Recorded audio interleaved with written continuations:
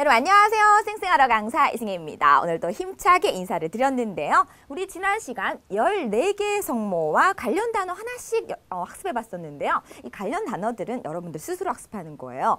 아빠, 빠바, 아 뽀하고 관련된 단어 중에 빠바가 있었지, 그죠? 그리고 뜨하고 관련된 단어 중에 띠디가 있었지. 하나씩 체크를 해주시기 바라고요. 저는 여러분들과 이거 하나만 체크하도록 하겠습니다. 우리 지난 시간 만화컷을 보면서 재미나게 이렇게 발음을 재구성해 봤었는데요. 기억하시죠? 자, 그냥 이거죠. 우리 한국어 보너스, 보너스 혹은 보너스 이렇게 얘기를 하는데요. 중국어에서 이때 뽀, 뽀라고 발음해서 보 너스라고 한다는 거 기억해 주시죠. 그렇죠?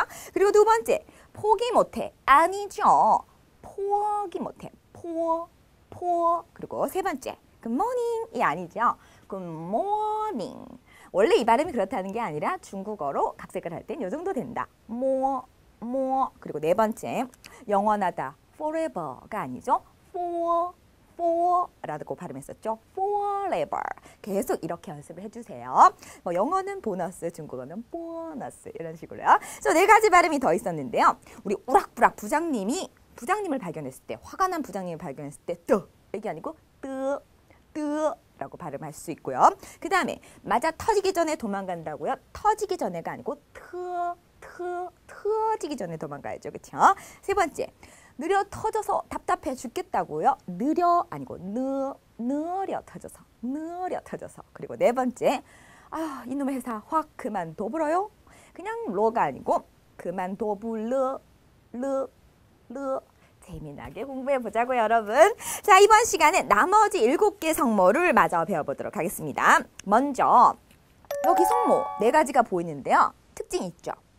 어, 발음 하나 뒤에다가 전부 H가 붙었어요. 마지막에 R 빼고요. 그쵸? Z, H, C, H, S, H, R 이 네 개의 성모가 있는데요. 이 네 개가 조금 복잡해요. 왜냐고요? 한국어 발음에는 적당한 것을 찾을 수가 없어요. 그래서 제가 일단 어, 여러분들한테 발음하기 이제 조금 어렵다면 어려울 수 있다는 걸 먼저 알려드리도록 하고요. 그래도 걱정하세요. 걱정하세요, 여러분. 비에 단신 걱정 마세요. 비에 단신 뭐 길이 없으면 만들어서라도 가야 되지 않겠어요? 승혜 선생님이 길을 쫙 만들어 드릴 테니까 여러분들 따라오세요. 자 그럼 첫 번째 만나게 될 이 네 개의 성모 특징은 바로 이겁니다. 바로 혀를 구부린 상태에서 혀의 힘을 빼고 발음한다는 것이 키포인트예요. 그게 뭐죠 선생님? 방법을 하나 알려드리도록 할게요. 여기 슬기롭다 할 때 슬자 있죠, 여러분? 그것을 계속해서 연속해서 발음한다고 생각을 하세요. 스스스스스스스스스스스스스스 어느 순간 혀가 뒤쪽으로 빠지면서 이건 아니에요. 이렇게 말리는 건 아닌데 이 상태에서 한 번 더 꺾인다고 생각하시면 돼요. 다시 해볼까요? 스스스스스스스스스스스 어느 순간 바람이 막 새는 소리가 날 거예요. 그때 멈추고요. 하나씩 읽어주세요. 즈, 치, 시, 르 하고 발음해 주시면 돼요. 어, 선생님 저는 혀에 너무 힘이 들어가는데요 하면 이런 발음이 나요. 즈, 스, 스, 르 너무 힘이 들어가게 되면 그럼 선생님 다른 방법은 없나요? 조금 더 쉽게 이해할 수 있는 방법 그래서 제가 너무나도 오래, 오랜 그 고민 끝에 연구해 본 결과 딱 하나 있었어요. 바로 우리 한국어에 외래어 발음의 답이 있었다는 거죠. 여러분 한번 해보도록 할게요. 우리 왜 샤머니즘 이렇게 표현하죠. 그렇죠? 그때 샤, 샤, 샤 이것이 바로 권설음이에요. S-H-A 하면은 샤, 샤 발음할 수가 있고요.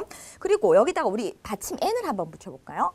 샨, 샨 그죠? 그리고 여기다가 오를 한번 붙여봐요. 이응, 이응 붙여보면 S-H-A-N-G죠. 그렇죠? 샹, 샹그릴라 할때 샹, 샤, 샨, 샹 이 발음들이 전부 권설음이라는 거죠. 그러니까 권설음이다 하면 일단 우리가 먼저 뭘 말해본다? 샤, 샨, 샹, 샤, 샨, 샹 이거를 계속해서 세 번 반복한 후에 혀를 만들고 바로 그 뒤에 즈, 츠, 시, 르 하고 읽어봐 준다는 거죠. 그래서 이렇게 혀를 구부려서 발음하는 것을 우리 권설음이라고 하는데요. 권설음은 포인트는 혀를 구부리는 건데 도저히 모르겠다 하시면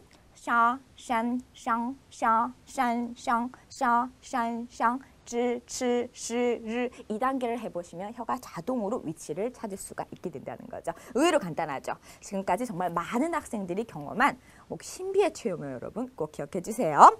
자 그럼 여러분 우리 이 네 개의 성모에 즈, 츠, 시, 르 이 네 개의 성모에 음모 우 루를 한번 붙여서 발음을 해볼까요? 그럼 이렇게 되겠죠. 쭈, 추, 슈, 루 이렇게 되겠죠. 그죠? 이렇게 발음을 해봤을 때 조금 더 명확해져요. 우리 왜 주크박스 할 때 주, 그죠? 추리닝, 추, 슈거 할 때 슈 이 정도의 발음이 날 수가 있겠죠. 자, 그럼 이제 재미있는 만화 컷으로 이해를 도와드리도록 할게요. 스트레스를 풀고 있는 모습인가 봐요.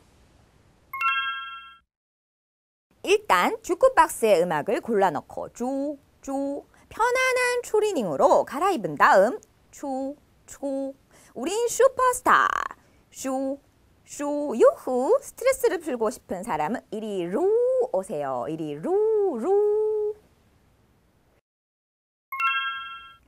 네, 여러분 함께 잘 보셨죠? 이렇게 연습을 하면 어려울 거 하나도 없다는 거죠. 주, 추, 슈, 루 우리 왜 그러잖아요. 이리 루, 루 하면 약간 혀가 꼬이죠. 그렇죠? 그때가 바로 RU 발음이라는 걸 인정해 볼 수가 있을 겁니다.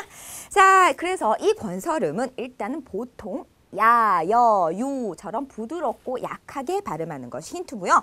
우리 관련 단어 함께 학습해야겠죠. 우리 성이 장씨인 사람 있죠. 그런 사람들한테 보통 이 권설음이 잘 안 되는 분들은 짱짱 그래요.